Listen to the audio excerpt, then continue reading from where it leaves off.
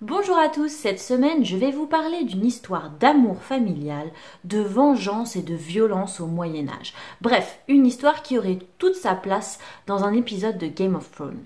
J'ai nommé la Grande Fête Royale. Alors, pour ceux d'entre vous qui se demandent ce qu'est une fête, eh bien c'est un mot qui vient du germanique fede, qui signifie querelle et qui désigne une vengeance privée opposant deux familles. Un peu comme les Montaigu et les Capulet dans Roméo et Juliette, si vous voulez. Mais cette fête dont je veux vous parler n'est pas n'importe quelle guerre de vengeance, puisqu'elle opposa entre eux les petits-fils de Clovis et deux des plus célèbres femmes mérovingiennes, les terribles Brunehaut et Frédégonde, pendant près de 52 ans.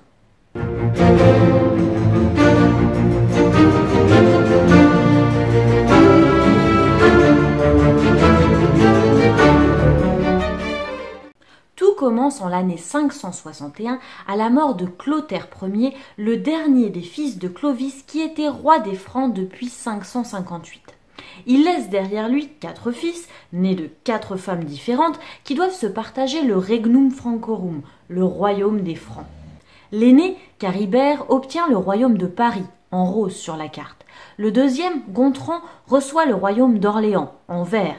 Le troisième, Sigebert, obtient le royaume de Reims, bleu. Enfin, le dernier des quatre frères, Chilpéric, reçoit le royaume de Soissons en orange. Comme vous pouvez vous en douter très vite, chacun des frères convoite le territoire de son voisin et des rivalités éclatent. Jusque-là, rien d'anormal pour des rois mérovingiens, mais c'était sans compter sur l'intervention de deux femmes redoutables. La première de ces dames se prénommait Frédégonde. Elle était née vers l'année 545 dans une famille de serfs et possédait une grande beauté qui lui valut d'être rapidement choisie par le roi Chilpéric pour en faire sa concubine. Chilpéric était déjà marié à la reine Odover, mais à l'époque, la monogamie n'était pas encore entrée dans les mœurs et il était donc normal pour un roi de posséder des concubines. Frédégonde devient donc la servante de la reine en plus d'être la concubine du roi. Alors que Chilpéric était parti guerroyer, sa femme Odover donna naissance à une petite fille, Childesoin. Le jour du baptême, la marraine qui avait été désignée à l'avance ne se présenta pas à la cérémonie. Au bout d'un moment, l'assemblée était fatiguée de l'attendre et on décida qu'il fallait la remplacer.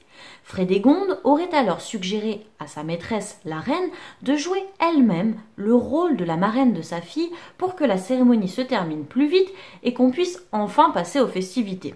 La douce et pieuse mais naïve Odover acquiesça et joua donc le rôle de la marraine de sa propre fille. Mais voilà, c'était un piège tendu par l'opportuniste Frédégonde, car le droit canon interdisait aux mères de jouer le rôle de la marraine de leur propre enfant, et aux pères de coucher avec les marraines de leurs rejetons, ce qui semble plutôt normal.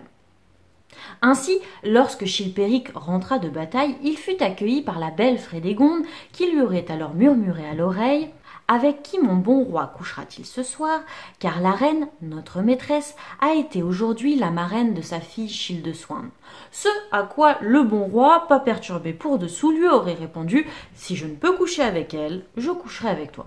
Et voilà, problème réglé. Enfin, pas tout à fait, puisque la pauvre d'Auvers fut ensuite chassée du lit royal et condamnée à entrer au couvent avec son bébé où elle dut prendre le voile. La place de reine était donc libre et Frédégonde, concubine favorite du roi, se voyait déjà couronnée. Bon, avant d'aller plus loin, il faut quand même que je vous avertisse. Cette histoire nous est racontée par Grégoire de Tours dans son livre de l'histoire de France. Et il faut dire que cet auteur n'aimait pas, mais alors pas du tout la reine Frédégonde, qu'il présente comme une personne cruelle et fourbe. Alors il est tout à fait possible qu'il ait légèrement romancé cette histoire, voire même peut-être amplifié le rôle de méchante de Frédégonde. Bon, maintenant que vous êtes prévenus, continuons notre histoire. Le roi Chilpéric du royaume de Soissons était donc à la recherche d'une nouvelle reine et sa concubine favorite Frédégonde espérait bien obtenir la promotion. C'est à ce moment-là qu'intervient la seconde grande dame de cette histoire, la célèbre Brunehaut. Née vers 547 en Espagne, elle était la fille d'Athanagilde Ier, le roi des Visigoths. Cette princesse, que l'on disait gracieuse, élégante et pleine d'esprit, épousa au printemps 566 à Metz le roi Sigebert Ier du royaume de Reims. Chilpéric fut jaloux du mariage prestigieux de son frère et chercha à l'égaler. Une autre version de l'histoire dit d'ailleurs que c'est précisément pour cette raison qu'il répudia son épouse. Quoi qu'il en soit, Chilpéric, très mature, décide donc en 567 d'épouser Galsointe, la sœur aînée de Brunehaut, pour rivaliser avec son frère. Sauf que selon les chroniqueurs, Galsointe était certes une princesse, mais bien moins jolie que sa sœur. On la disait tout de même douce et vertueuse.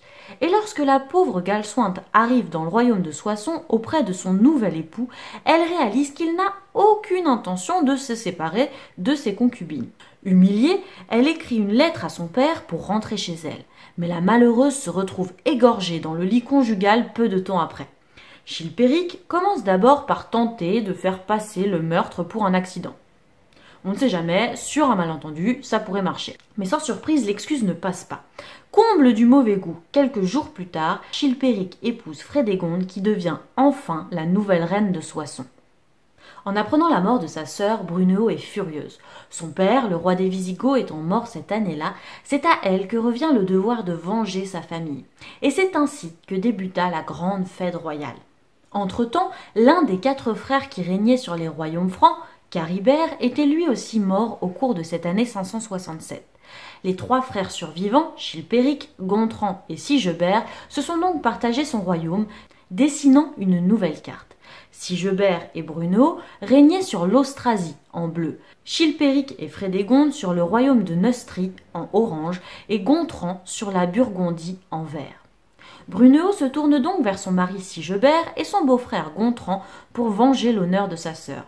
Chilpéric accepte d'abord de payer un wergild, ce qui signifie littéralement le prix de l'homme, une sorte de compensation financière pour la vie d'une personne afin d'éviter la guerre. Il promet donc de céder à Brunehaut le douaire autrefois promis à Galsointe, composé de plusieurs villes en Aquitaine pour se faire pardonner. Mais Chilpéric ne tient pas parole et lance au contraire une guerre contre Sigebert. Mais en 575, Sigebert réussit une percée en Neustrie et Chilpéric s'enfuit pour se réfugier à Tournai. Flairant le danger, une partie des nobles fidèles à Chilpéric change de camp pour se rallier à Sigebert. À Vitry en Artois, l'armée de Chilpéric reconnaît Sigebert comme roi de Neustrie. La partie semble gagnée pour lui et Brunehaut. Mais alors qu'il part se faire sacrer roi, il est assassiné. D'après Grégoire de Tours, les assassins ne seraient autres que des pages envoyés par la rusée Frédégonde. Brunehaut se trouve donc à Paris lorsqu'elle apprend avec son fils Childebert II, âgé de 5 ans, la mort de son époux. Évidemment, les nobles qui s'étaient autrefois ralliés à Sigebert changent une nouvelle fois de camp et se rallient cette fois à Chilpéric. Sachant son fils en danger, Brunehaut parvient à le faire s'échapper pour qu'il retourne en Austrasie, où il est sacré roi à la suite de son père. De son côté, Brunehaut est capturé et exilé à Rouen sur les ordres de Chilpéric. Les nobles austrasiens ne cherchent pas à la libérer car ils ont ainsi la voie libre pour élever leur jeune roi comme ils le souhaitent. Tout semble donc perdu pour Brunehaut, mais la dame n'a pas dit son dernier mot. En 576, Mérové, le propre fils de Chilpéric et d'Odover, décide d'épouser la belle Brunehaut. Alors, véritable coup de foudre ou mouvement stratégique, l'histoire ne le dit pas. Mais ce mariage devrait être très utile pour les deux époux. Pour Brunehaut, cela lui permet de sortir de prison. Et pour Mérové, c'est une alliance inespérée car il était le seul fils adulte d'Odover face à Frédégonde et à ses fils. Malheureusement pour le jeune homme, sa stratégie tourne au désastre. Chilpéric ne tolère pas ce mariage entre son fils et sa pire ennemie. Il fait donc arrêter Mérové et le fait tonsurer, puisque les cheveux étaient alors un symbole de pouvoir, avant de l'envoyer dans un monastère. Mérové s'enfuit, mais il est finalement rattrapé en 577. Ses compagnons sont atrocement suppliciés par Frédégonde et lui se suicide avant de subir le même sort. De son côté, Bruno est un peu plus chanceuse et parvient à retourner dans le royaume de son fils. Mais il faut dire qu'elle y est assez mal accueillie, les nobles lui font clairement comprendre que désormais son fils règne sous leur tutelle et qu'il vaudrait mieux pour elle ne pas trop se mêler de politique. Entre-temps, du côté de Frédégonde, les choses ne sont pas toutes roses non plus. En 580, elle perd ses deux fils en bas âge, victimes de la dysenterie. Elle décide alors de s'occuper du dernier des fils vivants de Chilpéric, Clovis, né de son premier mariage. Après plusieurs manigances, elle parvient à le faire accuser du meurtre de deux de ses plus jeunes frères et enfermer en prison où il fera une rencontre malheureuse avec un poignard. Après avoir éliminé la concurrence, Frédégonde tente donc de donner un nouveau fils à Chilperic. En 582, elle donne naissance à un petit garçon prénommé Théodoric qui meurt malheureusement lui aussi de la dysenterie peu de temps après sa naissance. Raté. Mais qu'à cela ne tienne, Frédégonde continue ses efforts et en 584, elle donne naissance à un nouvel enfant, un petit garçon prénommé Clotaire II. Pour protéger cet unique héritier des assassins éventuels, Chilpéric donne l'ordre de l'élever en secret dans sa villa de Vitry. Mais un peu plus tard, en septembre 584, c'est Chilpéric lui-même qui meurt assassiné lors d'une partie de chasse par un homme qui parvient à s'enfuir. Aujourd'hui encore, à Chelles, une borne marque le lieu de cet assassinat. D'après la chronique de Frédéguerre, ce serait Brunehaut qui aurait commandité le meurtre. D'autres versions accusent Frédégonde, mais elles ne tiennent pas la route, car la mort de son époux la met en difficulté et lui fait perdre son principal protecteur. On ne peut pas non plus tout mettre sur le dos de Frédégonde. Clotaire II devient donc le nouveau roi de Neustrie et sa mère, Frédégonde, assure la régence. De son côté, Bruno regagne son pouvoir à la majorité de son fils Childebert. Elle l'encourage ensuite à signer un traité avec son oncle Gontran, roi de Burgondie, disant que si l'un d'eux mourait sans fils, l'autre récupérerait ses terres. Clotaire II est donc totalement écarté de la succession de son cousin et de son oncle. Et coup de chance pour Childebert, son oncle Gontran meurt en 592. Il règne donc désormais sur l'Austrasie et la Burgondie, face à Clotaire et Frédégonde qui dirigent la Neustrie. Brunehaut occupe désormais le poste de régente pour son fils lorsque ce dernier part guerroyer, et pour conserver son pouvoir, elle s'assure qu'il n'ait que des concubines et aucune épouse officielle. Saint-Colomban l'accuse même de plonger sa descendance mâle dans la débauche pour garder les mains sur le pouvoir. Elle en profite tout de même pour faire réformer le royaume en faisant restaurer les routes, bâtir des monastères et construire des hôpitaux. Mais en 595, Childebert meurt. Il laisse derrière lui deux fils, Thierry et Tibère, tous les deux mineurs. C'est donc Brunehaut qui assure la régence de ses deux petits-fils. Tibère hérite de l'Austrasie et Thierry de la Burgondie. Entre-temps, Frédégonde finit par mourir en 597, peut-être assassiné par Brunehaut, on ne sait pas trop. Clotaire II règne désormais seul et Brunehaut, dernière survivante du conflit originel, semble victorieuse. Mais à partir de l'année 610, ses petits-fils Tibère et Thierry se battent pour obtenir les terres de l'autre. Décidément, c'est une manie chez les Mérovingiens. C'est Thierry qui l'emporte en 612 en devenant roi de Burgondie et d'Austrasie. Sa grand-mère, Brunehaut, est toujours à ses côtés. Malheureusement, il meurt lui aussi en 613, laissant derrière lui quatre fils. Brunehaut soutient cette fois-ci l'avènement d'un seul de ses arrière-petits-fils, Sigebert II, pour éviter que le royaume ne soit à nouveau morcelé. Encore une fois, elle tente d'obtenir la régence de ses arrière-petits-fils. Mais cette fois-ci, la noblesse austrasienne se rebelle contre cette grand-mère qui détient trop de pouvoir.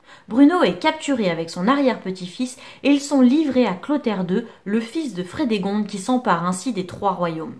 Bien décidé à venger sa mère, il fait tuer deux des arrière-petits-fils de Bruno. Il condamne ensuite la sexagénaire à mort. Mais pas n'importe quelle mort, car on dit que cette mort fut la plus atroce de l'histoire mérovingienne, ce qui n'est pas peu dire quand on connaît les loustiques. Brunehaut fut donc abandonné pendant trois jours au sévice de l'armée de Clotaire, avant d'être attaché par les cheveux, un bras et une jambe à un cheval indompté lancé au galop. Son corps brisé fut enterré à l'abbaye Saint-Martin d'Autun. Frédégonde avait eu sa vengeance depuis la tombe, et son fils Clotaire II devint le nouveau roi des Francs.